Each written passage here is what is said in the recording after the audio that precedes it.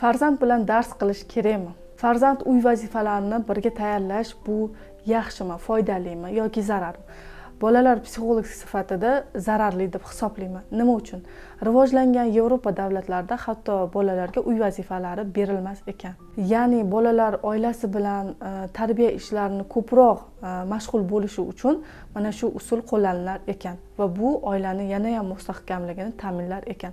Rostdan ham bola maktabga aql e, ya'ni bilim olish uchun boradi. Lekin uyga kelganda bola ko'proq tarbiya olgan ruhiy tarbiya olgan e, axloqiy tarbiya olgan muhim deb hisoblayman. E, va uy vazifalarini qildirish bu yomon narsa emas lekin uy vazifalarini qildirish jarayonidagi vaziyatlar ya'ni sizni bilib bilmagan holatda bola xato qiladi biror bir narsani bilmasligi mumkin.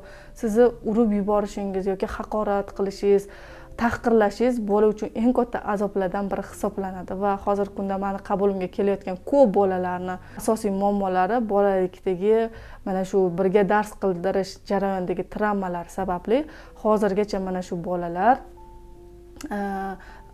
o'ziga bo'lgan ishonchi pastligi bilan yoki judayam yopiqligi bilan yoki tushkunlikka tushib qolish muammolari bilan kelishyapti bunga sabab o'sha bolaligidagi ota onani janjallari va bola bilan birga tayyorlangan uy uy vazifalari sababli bola judayam katta ruhiy zarbalarni olishi natijasida bo'lmoqda. Shu uchun iltimos qilaman iloji boricha farzandingiz bilan uy vazifalarini qilmaslikka iloji boricha bu vazifani asablari mustahkam e, o'qituvchilarga yoki mana shu qo'shimcha farzandingiz bilan shug'ullanadigan insonlarga e, buyurishingizni sizga tavsiya qilaman. Sababi bu farzandingizni ruhiy tomonlama sog'lom bo'lishiga ruhiy tomonlama baxtni sevgini insonlarga bo'lgan mehr muhabbati va eng avvalo o'ziga bo'lgan ishonchi e, hayotda topishiga judayam katta yordam beradi.